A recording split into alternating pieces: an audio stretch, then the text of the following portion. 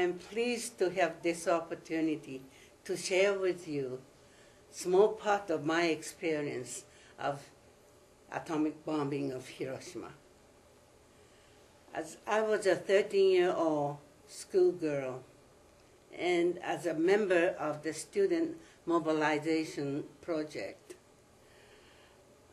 I was assigned to, together with 30 other students, to work at the military headquarters to act as um, decoding assistant.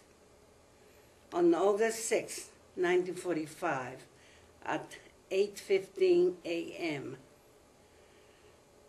I suddenly saw the brilliant bluish-white flash outside the window.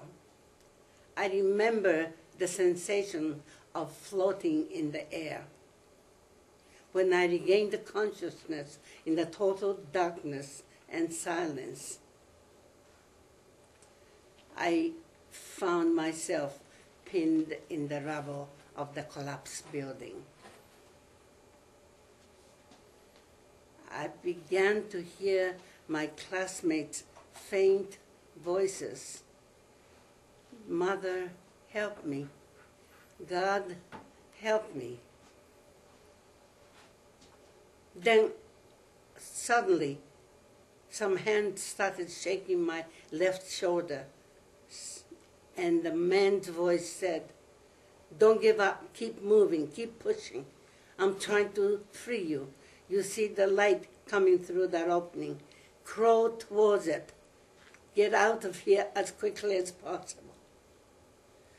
By the time I came out, the debris was on fire. That meant most of my classmates were burned to death alive.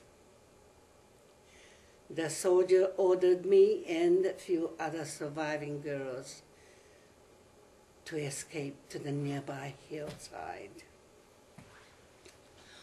Although it was morning, it was as dark as twilight because of the dust and smoke in the air. I saw streams of stunned people slowly shuffling from the center of the city.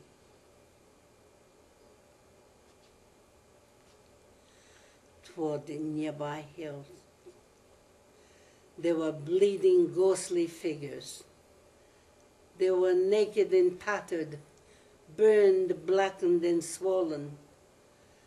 Parts of their bodies were missing, flesh and skin hanging from their bones, some with their eyeballs hanging in their hands. We girls joined the ghostly procession, carefully stepping over the dead and dying.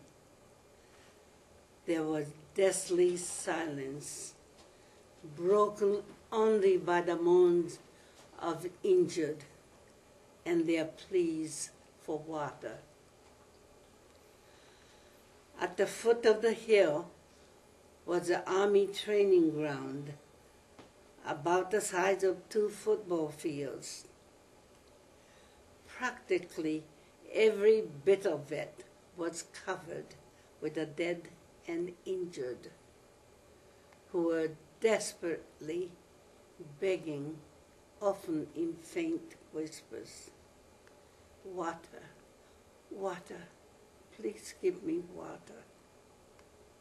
But we had no containers to carry any water. We went to a nearby stream to wash the blood and dirt from our bodies.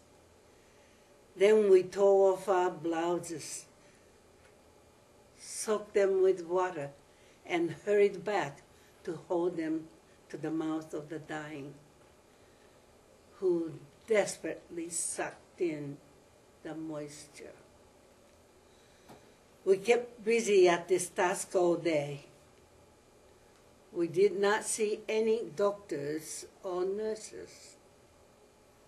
When darkness fell, we sat on the hillside and watched the entire city burn numbed and stunned by the massive and grotesque scale of death and suffering we had witnessed.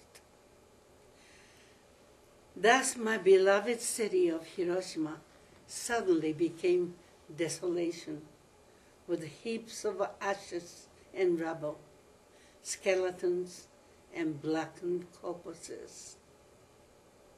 Out of a population of about 360,000, most of whom were non-combatant women, children, and elderly, became victims of the indiscriminate massacre of the atomic bombing.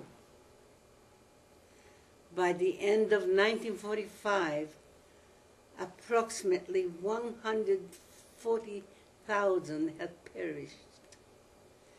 And as of present day, about and at least 260,000 have perished because of the effects of the blast, heat, and radiation.